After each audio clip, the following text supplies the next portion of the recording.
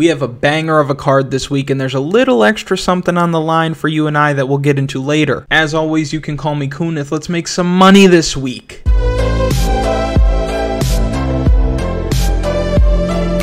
Magomed Ankalaev won, right? We're in agreement there. He won. And do we also agree that Paddy Pimblett definitely did not win? If you, all the real MMA fans know that he lost, and I had money on him. I was happy that he won, but I was also annoyed that he won because he clearly lost. I know a lot of you guys did well in your captain mode games. We'll talk more about captain mode later in the week. That's something that we're going to build into the schedule here, but this is the first look. This is where we're going to go through the entire card, fighter by fighter, salary by salary, but we're going to go in bout order from top down, starting with Sean Strickland. He's our main event favorite this week against Jared Cannonier. Strickland is looking to bounce back here after getting laid out like church clothes by Alex Pereira. And what I love about Sean Strickland, especially when we're talking about DraftKings, is we know what we're going to get from him. Really solid striking defense, high pressure, forward movement, busy hands. Busy hands might be an understatement. If you look back at his fights with Jack Hermansson, Uriah Hall, these are five round fights where he put up a combined 339 significant strikes. And he can wrestle too if he has to. He's no slouch on the ground, but I expect him to keep this fight standing as long as possible. And that should be easy for him this week against Jared Cannonier, who's going to be looking to strike and hoping to find that big knockout shot. And that's always a possibility when Jared Cannonier fights because he has serious power in both hands and deceptively quick hands as well. Plus, he's got 25 minutes to work, and with a guy in Sean Strickland who's coming off a knockout loss, he's not going to shoot for many takedowns. I would love to get to a big puncher like Jared Cannonier in this spot, but I don't think I can because Sean Strickland's going to land north of 150 strikes. In 14 UFC fights, Cannonier has never gone over 100 significant strikes. You see, these are the strike totals. These are the significant strike totals. Not once has he gone over 100. Now, a good amount of these fights are finishing inside the distance, so he gets a pass there, but for some of these, like a five round decision against Kelvin Gastelum, only 81 strikes landed. That's no good. Now, he's very accurate, and I'll give him that, but he doesn't throw enough against a guy like Sean Strickland who's going to drown you with volume and pressure. And it's very educated volume and pressure too. Sean Strickland isn't sitting down on a lot of these punches. He's kind of like how Nick Diaz used to be back in the day touch, touch, touch, touch, power. And we've seen Jared Cannonier knocked down in the UFC before, and as he slows down, I expect Sean Strickland to start landing heavier and heavier. So give me Sean Strickland to get it done this week. I actually like him by finish sometime in the fourth or fifth round. The pick for me in this fight is Sean Strickland by knockout. In the co-main event spot, we have Arman Tsarukyan. And he's going to be fighting Damir Ismagulov. Tough fight because both of these guys are so solid everywhere. Right now, and I say right now, but it always kind of feels this way, 155 pounds has this pocket of killers that I just can't get over. And the UFC is doing a good job of matching these guys up with each other. And I'm talking about Arman Tsarukyan, Mateusz Gamrot, Damir Ismagulov, and Guram Kutateladze. These are some of the sharpest guys in the division, and they would all eat Paddy Pimblett's lunch, might I add. What I like from Tsarukyan, obviously, is the cardio. We saw him uphold a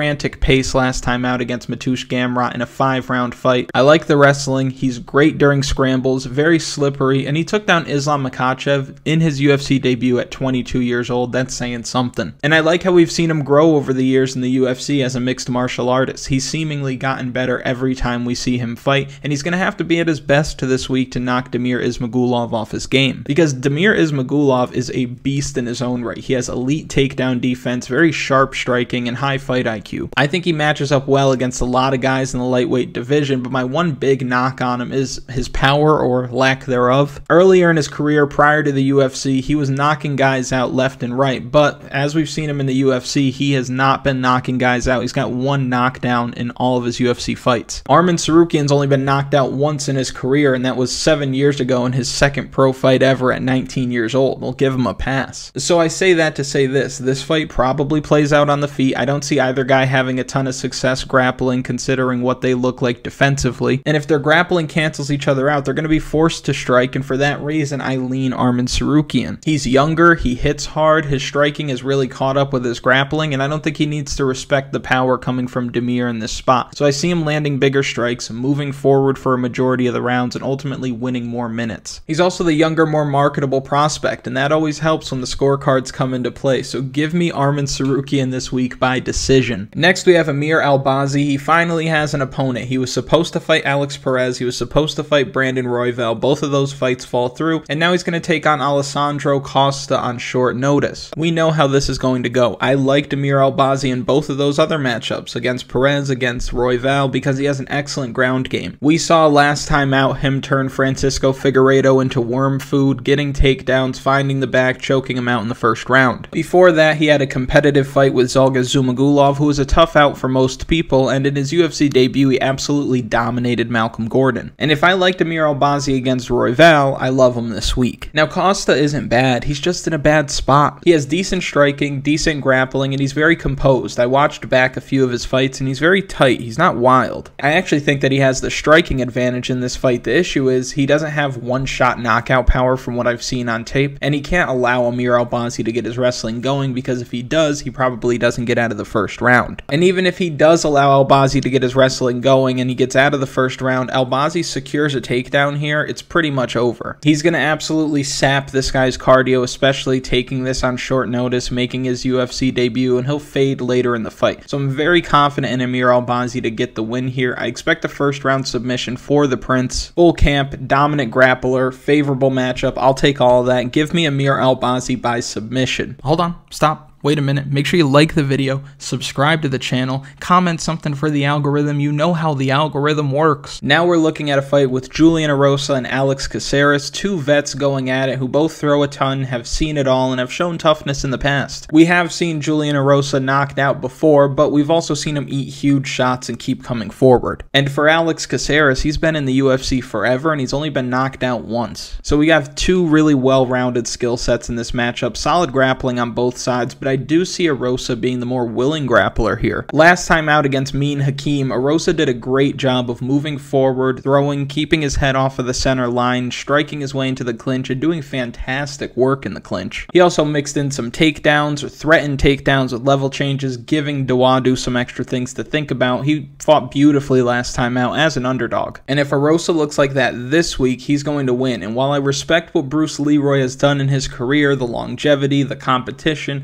I don't see him being a bad matchup for Juicy J. He's super experienced and technically skilled, but he's not dangerous enough for me to want to take a shot on him as an underdog in this fight. He's coming off a loss to Super Sodiq Yusuff, and I actually picked him to win that fight as a big underdog because I thought he was just going to put in that veteran performance like he did before that against Seungwoo Choi. Because Alex Caceres is crafty, he moves really well, he moves like he's been fighting for his entire life, which he has. But Julian Erosa is too dangerous, man. He has 23 finishes in his record and it's almost split perfectly with knockouts and submissions. So that tells me that the guy is opportunistic, the guy's always looking for the finish, and that skill set, again, is well rounded enough that he can get it done in multiple ways. So I expect Julian Erosa to win this week, and I think he's live for a finish here as well. Caceres is tough, he's a hard guy to put away, but Julian Erosa has that dog in him. And he's going to take the fight to Alex Caceres. So give me Julian Erosa this week, give me Juicy J inside the distance. Next, we have another tremendous fight with Drew Dober and Bobby Green. Money's coming in on Drew Dober. He's the favorite here, and I honestly Cannot tell you why. When I think Drew Dober, I think a couple of things crazy durability,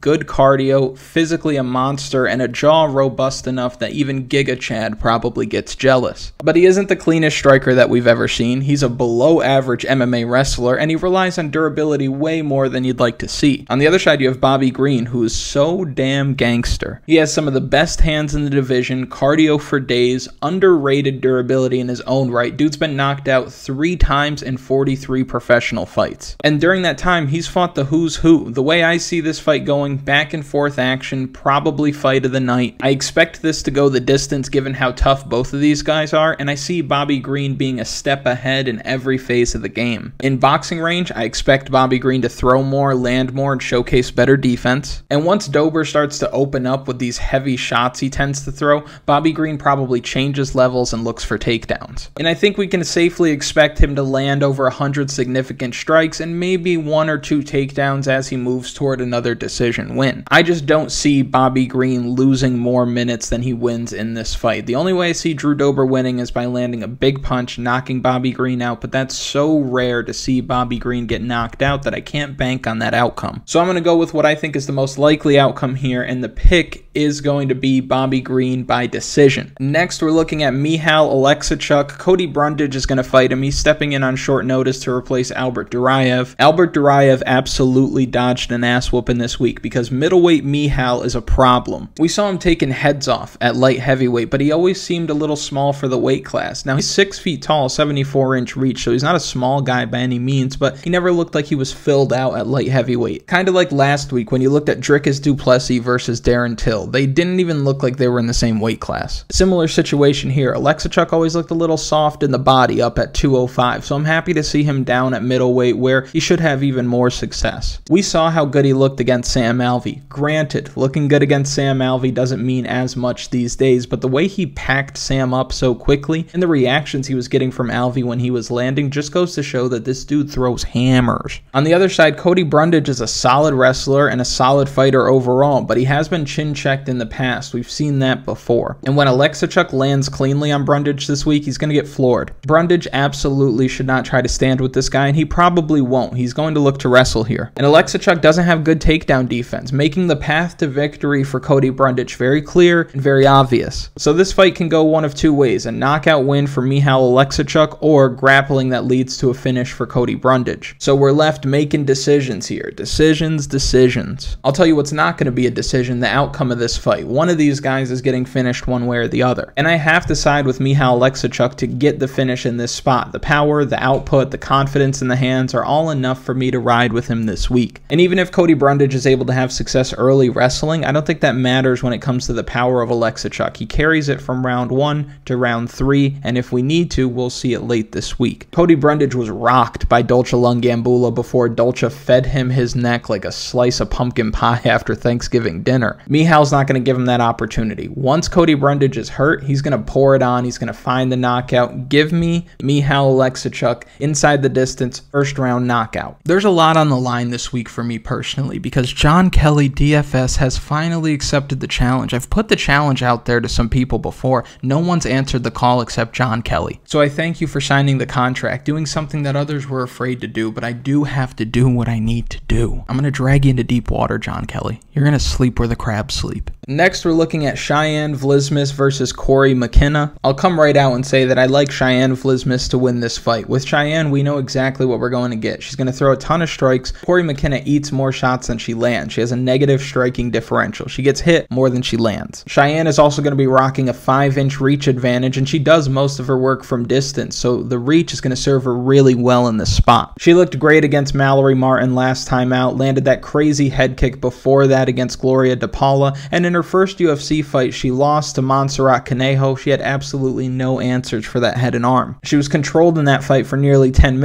but when she was on the feet, she was doing good work. Cory McKenna has wins over Miranda Granger, who's awful, Kay Hansen, who's awful, and a contender series win over Vanessa Demopoulos, which is aging pretty well. But I can't get over the fact that she lost to Elise Reed in the UK. That's not a good look at all. And it was a split decision, might have been a bad decision, could have won either way, but I would hope that Cory McKenna would pitch a no hitter against somebody like Elise Reed who can't defend a takedown. But that wasn't the case, and now she's up against Cheyanne Vlismas, who, if she can't get her down, Cory McKenna's getting pieced up here. Now, I expect McKenna to try to shoot for takedowns, but Cheyanne's going to stuff them, take the center of the octagon, and go to work. She's going to double her up on strikes as well. That volume is going to win Vlismas a majority of the rounds, and McKenna, she's young, but she's taken a lot of damage in her career. You see her getting lumped up in these fights, and I think that she probably is starting to cut easily. So if she starts bleeding, it's not going to give good optics to the judges, and if she's getting outstruck, then she's already kind of behind the eight ball. So give me Cheyanne Vlismas to win this fight. Give me Cheyanne Vlismas by decision. Next, we're looking at Jake Matthews. He's fighting Matt Semelsberger this week. Jake Matthews floated on Andre Fialho last time out. He put together a career performance after being out of action for over a year, came back, looked better than ever against a guy like Fialho who had a lot of momentum at the time. We know how Fialho fights, so that win is super impressive in my opinion. The shot selection, the movement, the feints, the power, it all froze Fialho, and I think he could do the same thing against Matt Semelsberger. Semelsberger is 30 years old. He's had six fights in the UFC, 14 fights total, but he still seems very raw to me. In the UFC, his wins are over AJ Fletcher, who stepped in on short notice, making his UFC debut and is now 0 2 in the promotion. He gave Semelsberger everything he could handle in that fight. He has a knockout win over Martin Sano, who is legitimately not a fighter. And you might think, how could he not be a fighter if he's in the UFC? The guy is 4 3 and 1 in his career. This is the first time that he had fought in four years. Not a good look, not a fighter. He also knocked out Jason Witt, who has top 10 worst chins we've ever seen, and he won a decision against Carlton Minus, who went 0 2 in the UFC. So the experience and the competition isn't exactly top tier, and when he does come across complete fighters like Khaos Williams or Alex Morono, he loses. He doesn't have the fight IQ, the ring time, the gas tank, or the technical skill to win against guys like these and Jake Matthews, 28 years old, has fought the who's who. He's been in the UFC since he was 20 years old, fighting guys like Kevin Lee, Li Jing Liang, Sean Brady, and since moving up to welterweight, he's looked awesome. He has been susceptible to being submitted in the past, but that's the weakest part of Matt Semelsberger's game. Semelsberger is a big, powerful guy, and I give him the punching power edge, but that's it. Every other aspect of fighting, Jake Matthews has the advantage, and I'm looking at it now. Jake Matthews is around minus 240, and I think that's a steal this week. In this space, we talk about how lines are too wide all the time, but this one is too narrow. Jake Matthews is better everywhere. He wins this fight. He could be a minus 500 favorite, I feel like it still makes sense. So I see him winning this fight. I see him actually securing a takedown or two, finding the back, and getting a rear naked choke. The pick for me is Jake Matthews by submission. Next, we're looking at a fight with Julian Marquez and Deron Winn. Now, Deron Winn is not only on the burger list, but the ink his name is written in has begun to fade because he's been there for so long. He's coming off an absolute battering by Phil Hawes, one of the worst beatings of the year, and it didn't even make it to the third round. Julian Marquez is coming off a brutal spanking as well. It actually took place on the same night. Robocop dropped him three times and put him to sleep faster than a cup of chamomile tea, which was crazy because Julian Marquez is known for his durability. He's also known for finding ways to win. Julian Marquez is a finisher through and through, and he's dangerous for every second of the fight. Now, Deron wins path to victory here is to lean on his wrestling. He's 5'6 at middleweight, which is pretty absurd. Deron Winn is built like a PT cruiser, and he's not going to outstrike most guys. He needs to close distance, get to some legs, and find a way on top. And Julian Marquez has poor takedown defense. We saw Maki Pitolo, of all people, take him down five times. Alessio Di Chirico took him down four times. Same with Darren Stewart. Deron Winn has to use that to his advantage. He has to wrestle here. And as much as it pains me to say this, I think Deron Winn could win this fight. If Deron Winn can keep half of the toughness that he showed against Phil Hawes, I think he wins a decision. I worry about on the feet being the smaller guy, the much shorter guy, but when it comes to wrestling, that's advantageous. I also worry about the submission attempts coming from Julian Marquez because he's not afraid to take chances. And from what I've seen from Julian Marquez, he's very good at fighting on instinct. He's a shoot first, questions later kind of guy. And that's a double edged sword that has served him well more often than not. So I'm torn. I'm torn because I like Julian Marquez and I don't like Deron Winn, but I am picking Deron Winn to win this fight because he has the wrestling and the poor takedown defense from Julian Marquez just feeds into that. So I'm going to try to get this out without throwing up all over my microphone. I think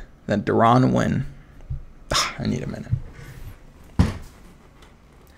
Oscar, can you do it? Can can you come do it? This is literally the only time I've ever asked you to do anything, and you're not gonna come do it. You're gonna get suspended without pay for the rest of December and for the first couple weeks of January. You're not getting paid. The pick for me in this fight is Deron Winn by decision. There, I did it. It's out. I did it. Next, we're looking at a crazy matchup here between Said Nurmagomedov and Saidyokub Kakhramonov. Nurmagomedov is coming up as a slight favorite here right now, but by Saturday, this is going to be a pick 'em because both of these guys look incredible right now. Kakhramonov is two fights deep into his UFC career. He made his debut against Trevin Jones. I believe he stepped in on short notice. He was a replacement in that fight. He spent a lot of time in the wrong side of the clinch, but he still looked good and ultimately found a submission late. He follows that up with a dominant performance over Ronnie Lawrence. He destroyed Ronnie Lawrence, even as a huge underdog. I had people messaging me. This is how bad the domination was. I had people messaging me. I had people like, Ronnie Lawrence sucks. He shouldn't even be in the UFC. My $6 parlay is ruined and now my kids have to have sleep for dinner tonight. Which is crazy because Ronnie Lawrence is pretty damn good. So for Kakhramonov to go out there, take him down 10 times, control him for over 12 12 minutes, a crazy performance, and super impressive. Now, on the other side, you have Said Nurmagomedov, who is quietly putting together a phenomenal UFC career. He's 5 and 1 in the promotion with three first round finishes, two of them being in under a minute. This guy has serious killer instinct, and we saw that when he fought Cody Stamann when he cinched up a guillotine to defend a takedown attempt, ends up winning that fight in 47 seconds. Last time out, he won against Douglas Silva de Andrade, but I think he underperformed. That fight was very close, and watching live, I thought the judges might have leaned D Silva for rounds two and three. And D Silva, 37 years old, not the strongest grappler, six and five in the UFC, not a great look. Kakhramonov is 27, just getting started, a fantastic grappler, and you could tell by the way that he conducts himself during interviews that he wants people to watch him fight. He wants to stir up some drama on social media. He wants Said Nurmagomedov to engage with him more than just the fight itself. And it's because he wants to put butts in seats. He wants to sell tickets because the kid has championship aspirations, and based on what we've seen, we have no reason to think he doesn't have championship caliber talent. From what I can see, Kakhramonov may be the truth. He only lost twice. Once in a competitive fight that went the distance against Umar Nurmagomedov, and we know how good that guy is, and the other to a flying knee in 2019. And flying knee losses are tricky because on paper it's all you got knocked out, you lost. But they are strikes that come from nowhere. They're very hard to defend against, especially if you find yourself moving forward, and they could be fluky at times. So I don't worry about Kakhramonov's L's because I'm far more impressed with the W's. I really like him this week. I think he goes out there and out grapples Nurmagomedov and wins a decision, or he finds a submission. If I had to choose, I'd say Saidyokub Kakhramonov wins this fight by decision. Next, we're looking at a fight between Rafa Garcia and Maheshate. Rafa Garcia likes to wrestle, throws big overhand punches, fights with a lot of pressure. On the feet, I don't think Garcia has anything for Maheshate. The power difference is massive, and we've seen just how poor of a striker Garcia is in the UFC. Garcia is really good against guys who he's able to take down, control on the mat, but if Maheshate is able to keep the feet, I fully expect him to knock Garcia out. Rafa has wins over Natan Levy, who was making his UFC debut, and a guy who I think is overrated. He also beat Jesse Ronson, who's winless in eight combined fights across UFC and PFL. For Maheshate, he cashed as a huge underdog on Dana White's Contender Series, then he cashed as a dog again this past summer when he starched Steve Garcia in just over a minute. This guy has power, and he's big for the division, standing at 6 feet tall versus a 5'7 Rafa Garcia, and he's still young, so he's still figuring things out. But just like last week, we need to zoom out here. When we're picking fights, we need to look at everything, not just the fight itself. Where am I going with this? Well, Maheshate is 23 years old. He's Chinese. He has a nice 9 and 1 record and he put himself on everybody's radar at UFC 275. The UFC has a real opportunity to have a star on their hands with Maheshate if he's brought through the ranks properly,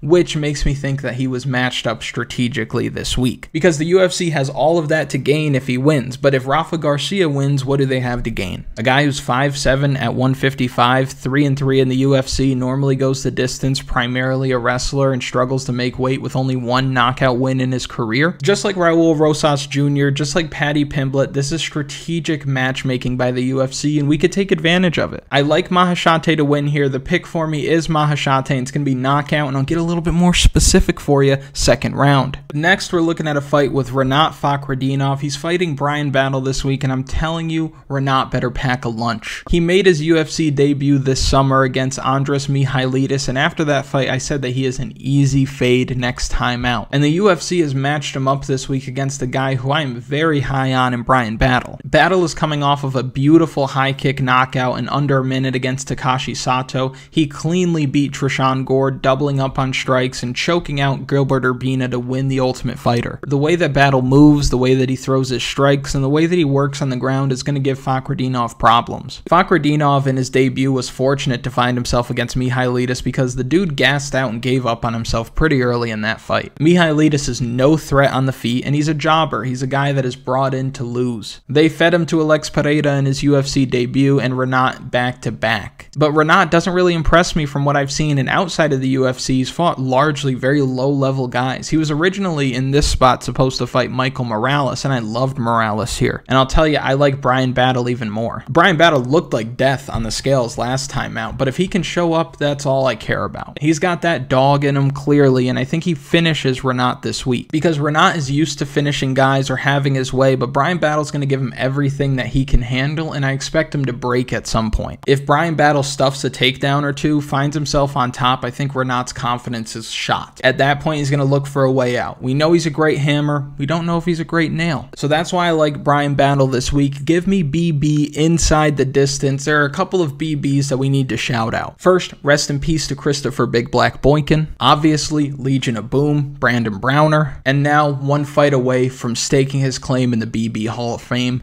Bryan Battle. Next, we're looking at Manel Kape. He's going to be fighting David Dvorak this week. It's good to see the man back in action. We haven't seen him in a year since he smoked Zolga Zhumagulov in the first round, which is impressive because no one's really doing that to Zolga Zhumagulov. Before that, he landed a crazy flying knee against Ode Osbourne, and now he has a fight against David Dvorak, who really doesn't jump off the page to me. I think Dvorak deserves to be in the UFC. I think he's UFC caliber talent. He's solid, but there isn't much to like for him in this matchup. No takedown upside, relatively low striking output, and physically, he's completely outgunned here. Manel Kape is a tank for this division, and he hits way harder than the average flyweight. I expect Kape to throw more, land a lot heavier, and control David Dvorak in the clinch. And I think it's worth mentioning that Manel Kape has fought tougher guys overall. He's shared the octagon with guys like Kyoji Horiguchi, Alex Pantoja, and a common opponent in Matheus Nicolau. Even Zolga Zhumagulov and Ode Osbourne are tough outs for most guys at 125 pounds, and I think when you look at the physical advantages,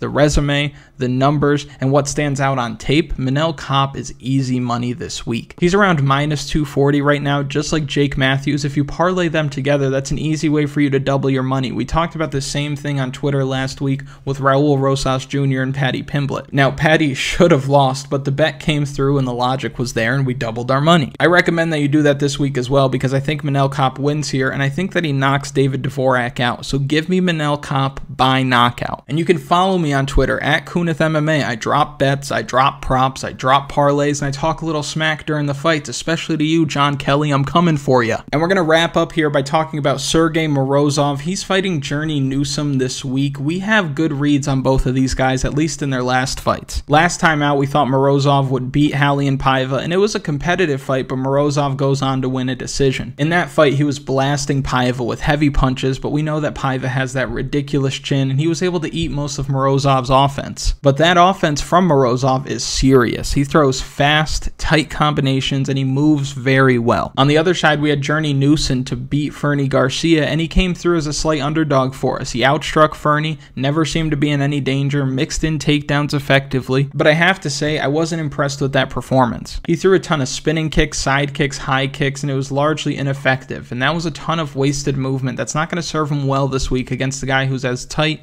and technically sound as Sergey Morozov. I expect Morozov to land the cleaner strikes and to take Newson down in spots to win rounds. He's another guy rocking around a minus 250 price tag, and it's justified because he's just a much better fighter. I like him to win this week, and unfortunately for Journey Newson, that puts him at one win in five UFC fights. Not a good look. So the pick for me in this fight is going to be Sergey Morozov by decision. If you've made it to this point in the video, I thank you so much for watching. Make sure you like the video, subscribe to the channel, hit some of the timestamps if you need to go back and look at some things. For DraftKings, if you're wondering what you should do, what contest you enter, how to build lineups, there's going to be two videos on the screen somewhere right here if Oscar can get his head out of his ass. And those videos will show you some strategy and help you win more often on DraftKings. Best of luck. I look forward to seeing you later in the week for our final picks and for that captain mode video. Let's go!